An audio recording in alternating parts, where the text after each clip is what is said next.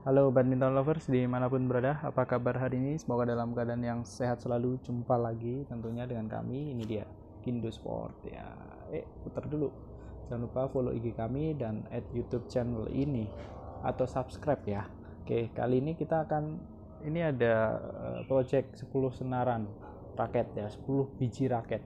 Sembilannya diantar satu orang, satu raketnya punya orang yang lain. Jadi uh, satu orang ada yang bawa 9 raket ini kita absen aja ya karena saking banyaknya ya. Eh, satu-satu ini adalah raket Kansa Ultralight raket yang sangat ringan. Ringan banget ini ya. Ini disenar dengan senar ini seperti ini. BG66 ya. Tensinya 28 lbs ya seperti ini ya. Kita empat simpul ya senarannya empat simpul semuanya. Ini semuanya kita senar dengan metode empat simpul standar dengan mesin digital dari 10 raket itu senarnya cuma minta tiga ini ya. Jadi eh, BG66 BG66 Ultimax dan BG65 ya. Oke yang kedua ini ada eh, raket apak Blazer 3 ini raketnya ini ada spesifikasinya ya. 4U 4U kok 85 ya kalau apak ya. Kemudian balance point even balance. Kemudian flagnya ini uh, flag ya. Nah ini raket apax ini ya.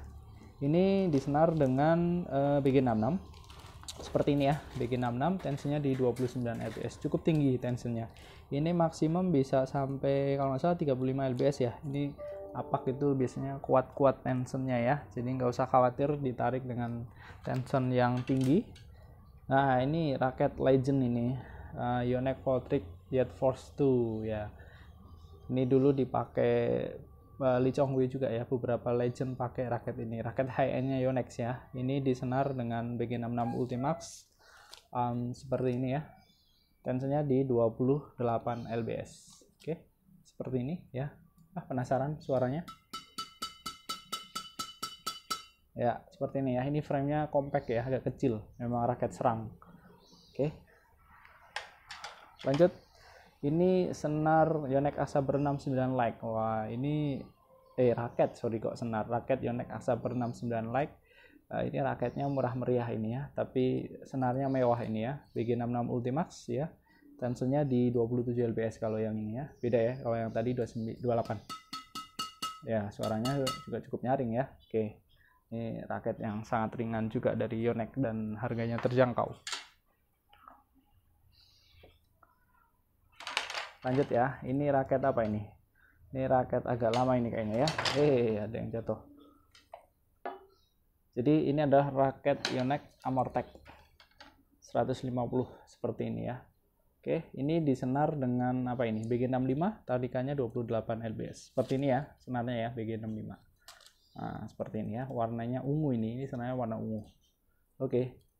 Heating nya ya beda dengan Ultimax ya. Nah, ini raket Yonex Voltric Lite 25i ya. Ini raket yang ringan juga dari Yonex, uh, made in China ya kalau nggak salah. Nah, ini ada made in China. Oke. Okay. Low end-nya Yonex juga ya dan ringan. Ini disenar dengan BG66 Ultimax juga yang seperti ini kira-kira ya. Senarnya warna putih. Seperti ini, 28 lbs. 4 timbul. Oke, lanjut apalagi ini raket Lining yang best seller juga ya. Raket Lining Super Series SS 2020 Special Edition. Ya ini yang warna black gold ada birunya. Kemudian um, kita senar dengan BG65 ini ya warna kuning seperti ini ya BG65 oke tensionnya di sekitar 28 lbs ini. Cukup kencang ya. Jadi senar tebal ini BG65 itu 0,70 Nah, seperti ini tampilannya, cakep juga ini ya. Ini raket. Ini juga framenya agak kecil sedikit, tapi nggak sekecil yang tadi ya, yang apa namanya uh, Yet Force 2 ya. Ini raket serang, beratnya sekitar 3U dan head heavy, uh, very head heavy ya. Dan uh, memang agak berat sih. Kalau buat pemula agak sulit untuk handle ini raket ya. Oke. Okay. Kemudian ada raket lining lagi uh, seri ringan juga. Ini lining Windstrom 78 ya seperti ini. Ini kita senar dengan BG66 Ultimax tension 28 lbs seperti ini ya senarnya ya. Oke. Okay. ya nyaring. Oke. Okay. lalu ini ada raket Heikua Fighter ZX99 seperti ini. Ini VG65 ya warna biru lengkap satu ya. Ini ada lengkapnya di sini. Tensinya berapa ya ini ya? 28 ya. Tarikannya 28 lbs juga. Ya suaranya beda dengan Ultima pasti beda lah. Oke yang ini terakhir. Ini adalah raket uh, Victor Jet Speed S08 ini BG65 juga warna kuning ya. Nah, seperti ini ya warna kuning ya. Ini kemasan baru ya. Kalau kemasan lamanya seperti ini. Tuh. Ini Ultimax juga kemasan baru ini yang lamanya kira-kira seperti ini mirip-mirip seperti ini ada tulisnya Ultimax. Nah ini tadi udah ya di senar BG65 tarikan 28 juga oke.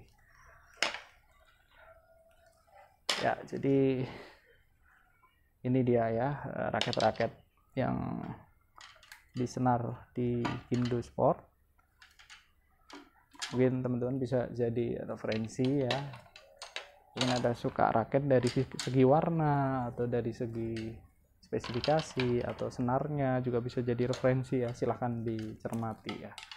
Kalian kalau disuruh milih nih pilih yang mana nih? Yang paling mahal sih ini. Dan Evoltric Jet Force 2 ya. High end sendiri ya. Yang lainnya sih raket-raket low end sepertinya ya. Dan middle end. Oke. Oke terima kasih sudah menonton. Semoga informasi ini bermanfaat. Kita akan sampai jumpa di lain kesempatan. Thank you sudah menonton